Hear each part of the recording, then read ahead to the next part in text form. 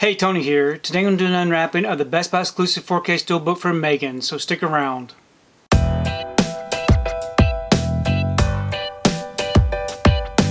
So I've received my order for Megan. This right here is a Best Buy exclusive 4K Steelbook.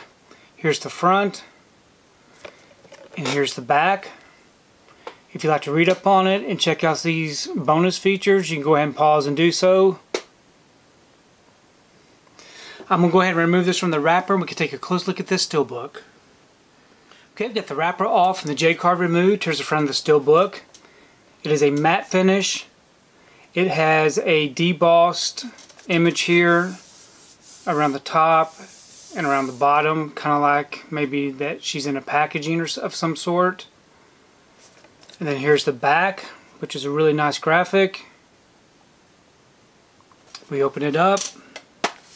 We have our front and back together. On the inside it does come with a digital code and our two discs. We have our 4K disc here with some disc art. And we have a Blu-ray disc with no disc art.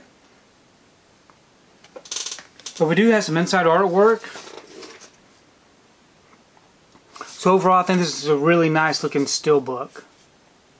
So overall, I'm really happy with this Steelbook release. Um, I did enjoy watching Megan when it came out, and I'm definitely looking forward to checking this one out again in 4K. Please leave me a comment below. Let me know what you think about this particular Steelbook unwrapping, and also let me know what your thoughts are on Megan, because I really do enjoy reading your comments.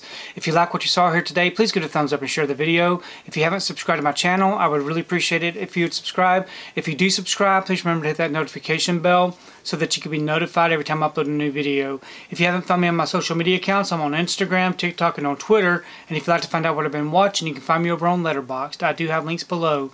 But thanks again for watching, and we will see you next time.